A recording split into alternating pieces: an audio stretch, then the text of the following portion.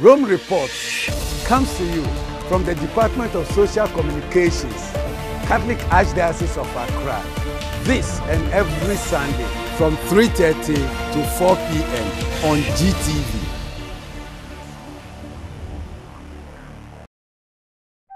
Our family has spanned the centuries and the globe. With God's grace, we started hospitals to care for the sick.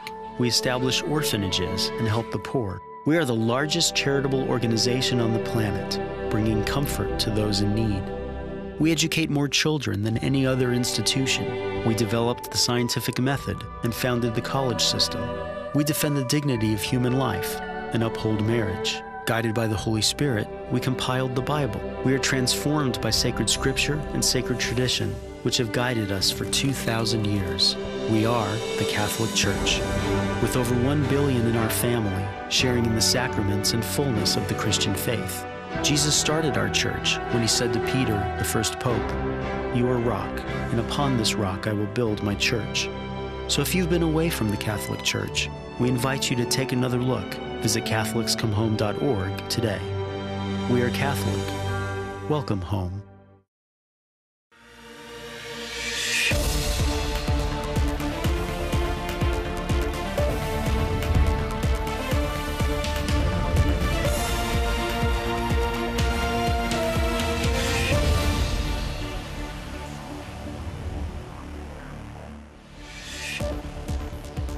Coming up in today's show, Pope Francis prays for the Catholics in China. Jesuit Superior General remembers his predecessor Adolfo Nicolas, who died in Japan. We present the Map of Hope, explaining what it is and how it can help you. All this and much more here on Rome Reports.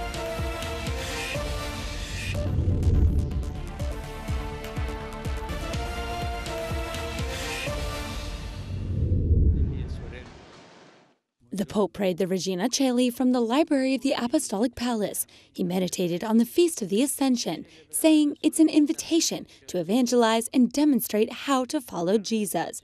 First and foremost, he stressed, is the importance of a good example.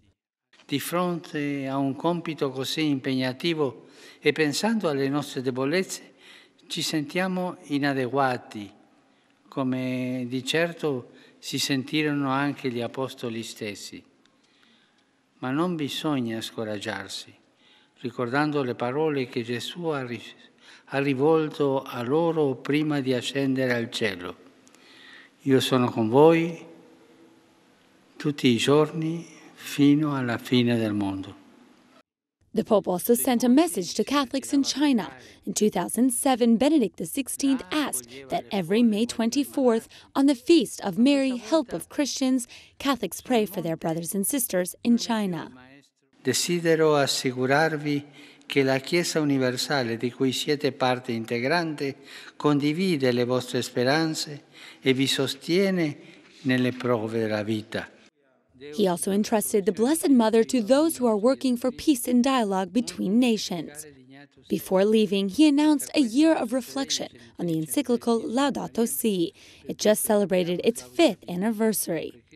Invito tutte le persone di buona volontà ad aderire per prendere cura della nostra casa comune e dei nostri fratelli e sorelle più fragili. Although the Pope prayed from his library, he later leaned out the window to bless the pilgrims who were in the square. For months, it had been completely empty due to the pandemic. Now, little by little, people are returning.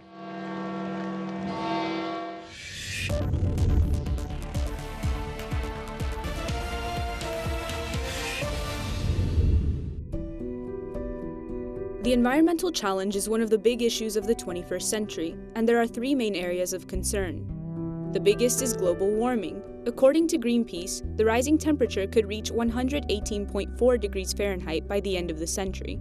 The consequences could be catastrophic. C'è la possibilità di produrre. Renewable energy can be produced, but it's not easy because those in control of the fossil fuel industry aren't interested. In the world today, the renewable energy market requires about $285 billion a year. Only banks invest in combustible fossil fuels like carbon, oil, and gas, 2.5 times this number. That's not good. We must change this situation. The scarcity of potable water would be one of the most serious consequences of global warming. The Food and Agriculture Organization of the United Nations warns that within five years, two thirds of the world population could be living in water stressed countries. The consequences would be catastrophic, as even the Pope has observed. L'acqua non è gratis, come tante volte pensiamo. Sarà il grave problema che può portarci a una guerra. The other major problem is the devastation of forests. In recent years, raging fires have ravaged Australia, Siberia, and California, among others. The Amazon forest, the so called green lung of the earth, is under constant threat. The Amazon Synod from last October raised the alarm regarding indigenous communities, which are being threatened even as we speak. The Brazilian government is taking advantage of the pandemic to further their destruction. The oceans have been transformed into dumps, especially for plastic. According to Greenpeace, poor management of waste leaves approximately 8 million tons of plastic in the planet's seas and oceans annually. That makes up between 60 and 80% of the garbage in the ocean, and the consequences are unpredictable. Pope Francis's encyclical Laudato Si is celebrating its five year anniversary and is kicking off a special year dedicated to it from May 2020 to May 2021.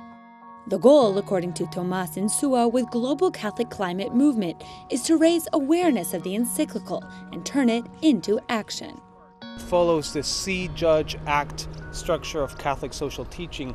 So first, the first chapter of Laudato Si, it's about looking painful, becoming painfully aware of the crisis of our common home, the cry of the earth, and the cry of the poor being so acute, um, and just acknowledging and embracing the scientific consensus about the ecological crisis. It's a crisis, he says, that affects the poor in a profound way, humanity currently, and also future generations who have to live with the effects of today's actions. The second big point about Laudato Si is diving deeper into understanding what are the root causes of our of this crisis. Why did we get to this point that we're ravaging the very planet that sustains life? Laudato Si explains that humans have not followed the Genesis mandate to care for the common home as a gift from God. Instead, they have exploited it, using it for their own selfish benefit. Last but not least, it's about action. It's about once we see the problem, we understand the root causes, um, we turn into action and we engage in transformation. We need to transform across all levels of society, of the church, uh, us individually and, and communally. This final part is the call to an ecological conversion, something John Paul II also spoke about in 2001. In Laudato Si, Pope Francis dives deeper into this idea, encouraging people to recognize the ecological problem, understand the causes, and transform not only their hearts, but the earth.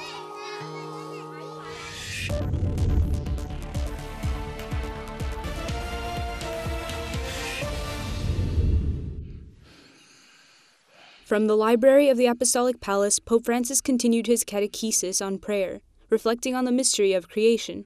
He warned against the temptation of forgetting one's own significance amid the wonders of the universe. in questa sconfinata vastità, che cosa è l'uomo? Quasi un nulla, dice un altro salmo. Un essere che nasce, un essere che muore, una creatura fragilissima Eppure in tutto l'universo l'essere umano è l'unica creatura consapevole di tanta profusione di bellezza. Pope Francis said the beauty of life can open the human heart to prayer. He said men and women who pray acknowledge that hope is stronger than discouragement. Se la vicenda della vita con tutte le sue amarezze rischia talvolta di soffocare in noi il dono della preghiera, Basta la contemplazione di un cielo stellato, di un tramonto, di un fiore, per riaccendere la scintilla del ringraziamento. Pope Francis said life is a gift from God, too short to waste it away in sadness. Et Filius et Spiritus Sanctus.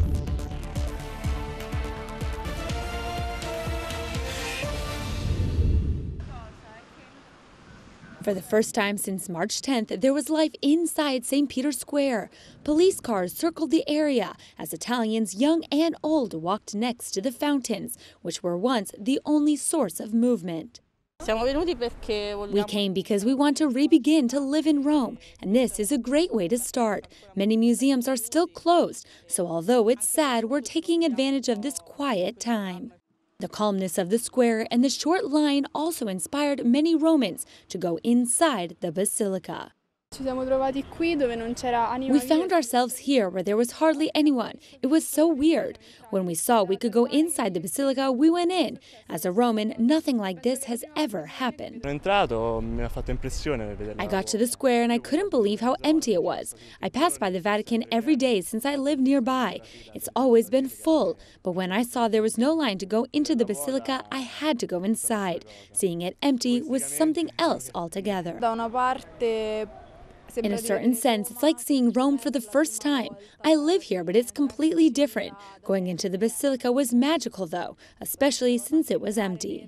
While many come to see the basilica, others just pass through. Italians are enjoying small freedoms like these that are returning during phase two of one of the strictest COVID 19 lockdowns in the world. After two months of shutdown because of the COVID 19 pandemic, the Sanctuary of Our Lady of Lourdes in France has finally reopened.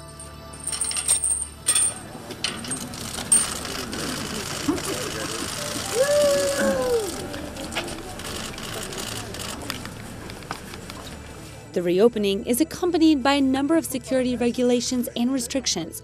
For instance, wearing face masks on the premises is mandatory, and markings on the ground help maintain safe distances between visitors. For the time being, visits are limited to pilgrims who live near the sanctuary. Members of the religious communities of Lourdes will be guiding groups of no more than 10 pilgrims who want to visit the grotto. In the grotto, chaplains will continue their uninterrupted prayer. Pilgrims can also go to confession, a sacrament that has been out of reach for some time. 1 million plastic bottles are purchased every minute and 500 billion plastic bags each year. 8 million tons of plastic end up in the planet's oceans each year, threatening marine life. You are watching Rome Reports. Coming up after the break, we remember the Jesuits' former Superior General, who led from 2008 to 2016. You're watching Rome Reports.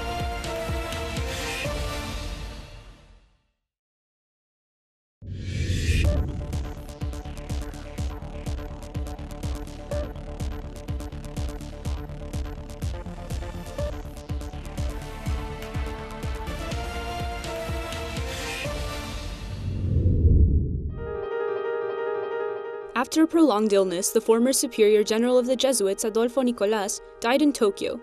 This is one of the last photos taken of him during the Pope's trip to Japan in November 2019. This is one of his signature gestures, seen as he greets his successor as leader of the Society of Jesus.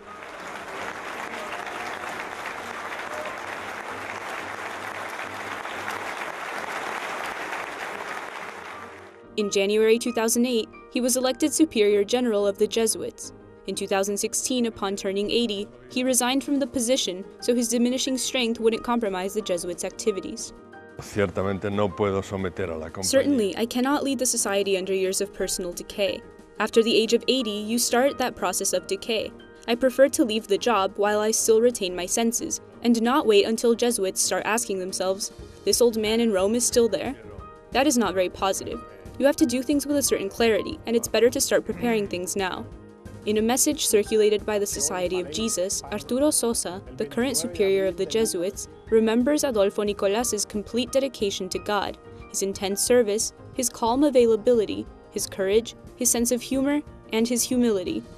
La memoria del Padre Adolfo Nicolás. The memory of Father Adolfo Nicolás is a reason to reiterate our gratitude to the Lord for all the blessings he has given us. Among them is the gift of the life of our brother Nico. He was a gift to the people of God and a light for those of us who want to serve God in the Society of Jesus. Adolfo Nicolas was born in Palencia, Spain in April 1936. He entered the Jesuit novitiate when he was 17 years old. He volunteered to go to Japan as a missionary. There, he was ordained a priest when he was 30 years old. He also spent 10 years in the Philippines. At 72 years of age, he was elected Superior General of the Jesuits, a role he carried out until 2016.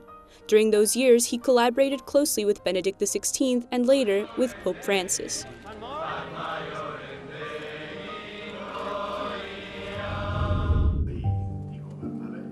The current Superior General of the Jesuits met with the press in Rome to recall his predecessor, Adolfo Nicolas, who died in Tokyo on May 20th.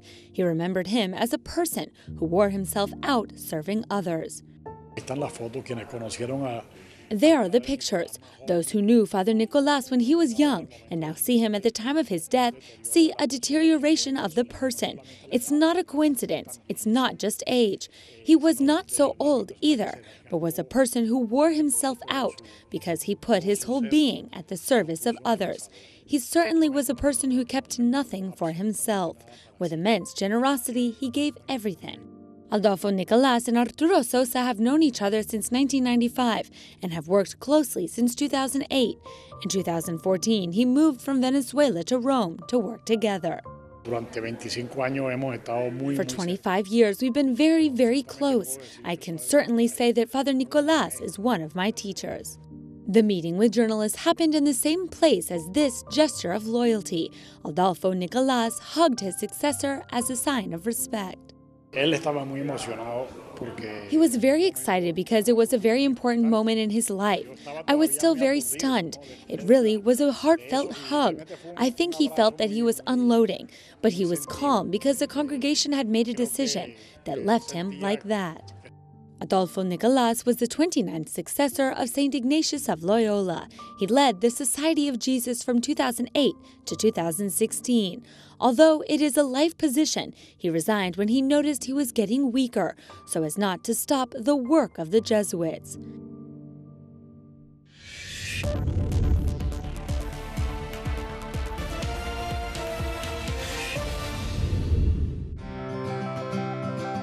The elderly are one of the populations most impacted by the coronavirus. They were perhaps the first to isolate themselves to care for their health.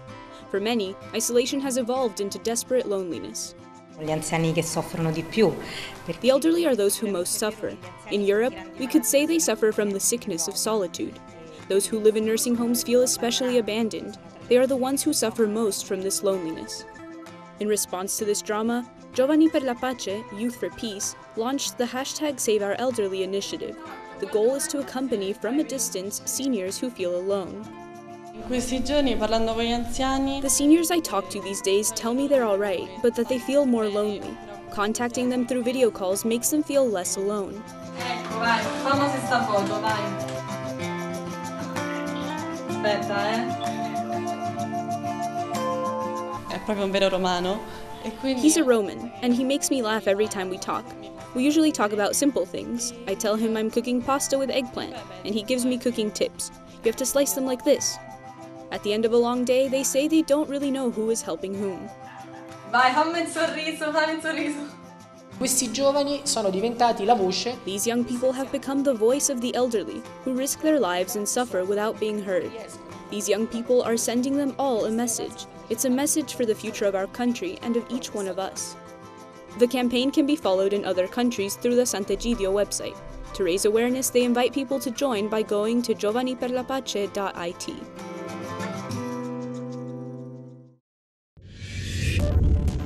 Which country offers the most opportunities for children? Mexico, Norway, Japan. You're watching Rome Reports.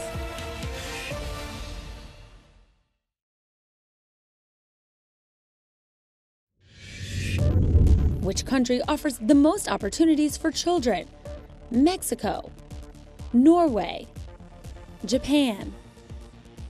The correct answer is B. Norway offers the most opportunities for growth and success. You are watching Rome Reports.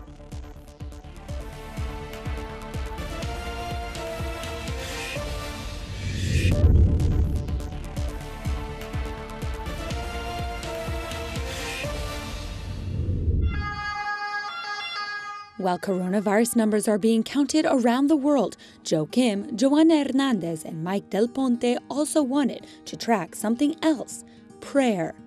To do this, they began the Map of Hope. It shows where the rosary is being prayed and even allows intentions to be posted. So we created the Map of Hope so that people could come to the website, get a sense of hope in the sense that other people are praying for them, a sense of community around the world, a deeper devotion to the rosary, and ultimately using prayer to end the pandemic. The site has formed its own prayer network as a result. In a matter of weeks, there are 9,000 prayer requests posted from 130 countries. Examples of miracles from the Rosary are also shown, like the end of a plague in Italy in the 15th century. The Rosary is necessary at this time because it's a powerful prayer that we can all do anywhere. You could do it alone, you could do it in community. All you need is your rosary beads, and even if you don't have a rosary, you can use your fingers to count. But it's important because at this time when a lot of people can't go to Mass, there's still a way to do something that is ancient and significant and carries many miracles attributed to it. Mike insists the Map of Hope also answers Pope Francis's call to pray the Rosary, especially in the month of May. Ho invitato tutti i fedeli a pregare in questo mese il Santo Rosario. Insieme, in famiglia o soli? While right now the map on their website only shows the United States, in a couple of weeks they're expanding it to a global map. They look forward to receiving intentions in various languages and seeing the rosary being prayed around the world, all for the end of the coronavirus.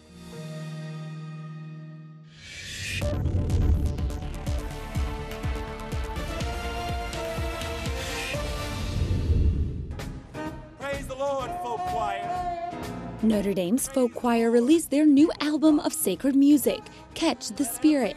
It explores African American and East African traditions with a mix of gospel, jazz, and spirituals. The choir's director, J.J. Wright, explained how this album is a sign of encounter. This experience has really allowed us to enter really deeply um, into this experience of encounter that Pope Francis talks about. Uh, we don't want to merely be looking from the outside in, but we want to walk next to uh, those with whom we minister and with those who minister to us. Choir members engaged with African Americans in the States and took a semester long course to dive deeper into African culture. Expert guides also taught choir members word pronunciation and melodies for songs in Swahili or other East African dialects. They even went a step further, traveling to Uganda, Kenya, and Tanzania to understand the culture even better. While we were there, we shared um, in some really great food, some great songs, dance, conversations, really great experiences while we were on our pilgrimage in East Africa. And what we hoped to bring back was um, be able to share our experience with seeing God not only in the new place, but also God in this new music that we were bringing back um, that we had experienced. The music is full of energy and excitement, and when singing or listening, you can't help but catch the spirit of zeal as we celebrate Christ. During the two year period it took to make the album, members say the music was able to transform them, even though it wasn't part of their culture.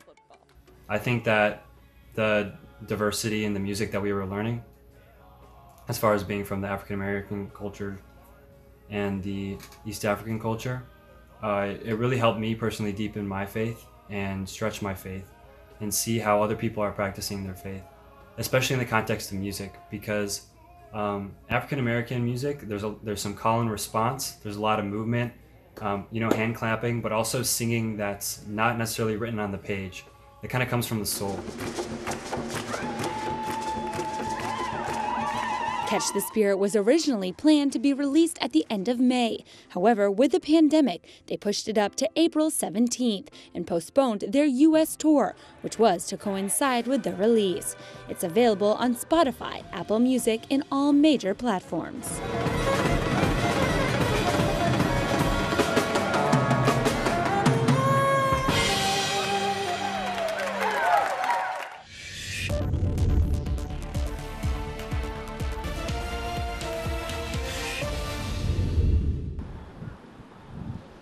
After a little over two months of confinement, Italy is slowly returning to its normal activities. Its cultural wealth makes it one of the most popular tourist destinations in the world. That's why museums were among the first sites to reopen their doors. This includes the Capitoline Museums in Rome. The museums are completely open, except for the smallest galleries. There, only two people are allowed at a time in order to maintain a minimum safety distance of three feet between visitors. Nevertheless, the tour is complete. Guests can see the Capitoline Pinacoteca, the Capitoline Venus, and even Rubens' Romulus and Remus. Then they can get a view of the Roman Forum from the Tabularium. Now, access to one of Italy's most important museums is very different from three months ago. Visits must be booked online ahead of time. Upon arrival, visitors must have their temperature taken. After going through security, they are required to use hand sanitizer and wear masks and gloves. In addition, they have to follow the arrows on the floor, all while keeping at least three feet between themselves and others. The galleries were carefully sanitized by professionals specialized in preserving historical works of art. Now, one of the treasures of the Eternal City is accessible once more. It's the sculpture of the Capitoline she wolf, who, according to tradition, raised Romulus and Remus, the founders of Rome. Tourists can also gaze upon the imposing bronze sculpture of Marcus Aurelius from 176 AD. Every year, millions of tourists visit these sites, which preserve the artistic roots of Western culture. Foreign tourists won't be able to visit before June 3rd, when Italy is set to reopen its borders to the European Union, without tourists being obligated to spend time in quarantine.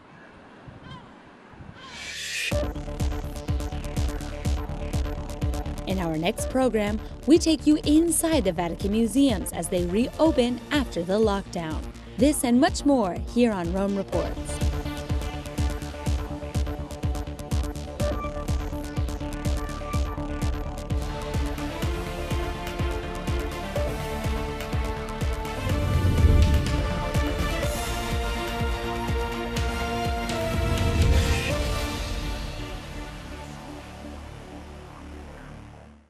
Should I try to use my mind to figure everything out, or should I simply rely on faith to understand? See, those who rely on faith alone to view the world are not using their minds to reason. And those who only rely on reason to interpret reality are turning their backs on the gift of faith. Well, the perfect solution involves a marriage of both faith and reason. See, God knew that we would be full of questions, big questions as large as our universe. And God created us with intellects to wonder, dream, and philosophize. Yet God asks us to believe in some truths that we can't see with our eyes. We can arrive at perfect truth when we choose to see with the eyes of faith while we reason with our minds. And our faith can truly blossom when we explore it with our mind. Maybe St. Augustine said it best I believe in order to understand, and I understand in order to believe. Live true. Live Catholic. Live Catholic.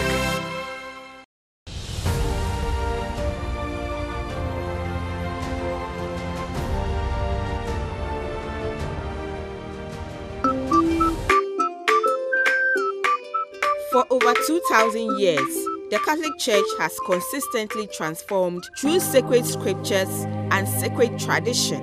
It is comforting to know that some things remain consistent. Live truth, live Catholic. Visit our shop at Shiashie, opposite Gethsemane Cemetery, and find for yourselves the following.